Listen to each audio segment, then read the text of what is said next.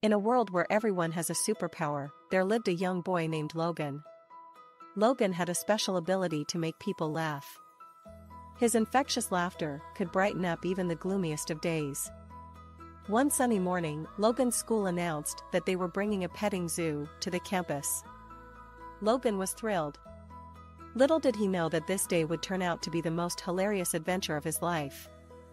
As Logan and his classmates gathered around the petting zoo, they were introduced to the substitute teacher, Mrs. Jenkins. Mrs. Jenkins was known for her love of animals, and the students were excited to have her in charge. However, they soon realized that Mrs. Jenkins had a peculiar way of handling animals. Logan's favorite animal in the petting zoo was a mischievous elephant named Gabriel. Gabriel loved to play pranks on everyone, and Logan found him hilarious. But as the day went on, Gabriel's pranks became more and more chaotic. He started spraying water on the students, stealing their lunches, and even giving piggyback rides to the smaller animals. Logan knew he had to do something to save the day. He approached Mrs. Jenkins with an idea. Mrs. Jenkins, Logan said, I think I can make Gabriel stop his pranks if you let me try. Mrs. Jenkins, desperate for a solution, agreed. Logan stood in front of Gabriel, took a deep breath, and let out his loudest, silliest laugh. Gabriel, intrigued by the strange sound, stopped in his tracks. He had never heard anything like it before. Logan continued to laugh, making funny faces and silly noises, and Gabriel couldn't resist joining in.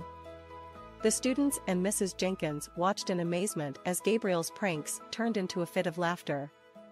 The other animals also joined in, creating a symphony of giggles and snorts. Logan's laughter had a magical effect on everyone, bringing joy and harmony to the petting zoo.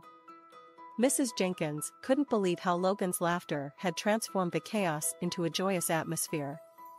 She thanked Logan for his quick thinking and praised his unique superpower. Logan blushed with pride, knowing that his ability to make people laugh had saved the day. From that day forward, Logan and Gabriel became the best of friends.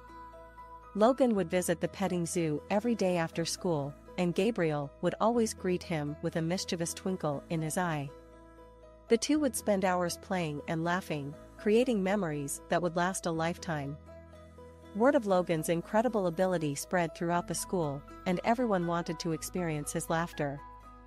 The school decided to organize a special laughter day where Logan would showcase his superpower. The event was a huge success, with students, teachers, and even parents laughing uncontrollably. Logan's laughter had a ripple effect, spreading happiness not only in his school but also throughout the world people started realizing the power of laughter and how it could bring people together. Logan became a symbol of joy, reminding everyone that even in the most chaotic situations, a little laughter could save the day. And so, Logan and Gabriel's laughter echoed through the halls of the school, reminding everyone that sometimes, a good laugh is all you need to turn chaos into harmony.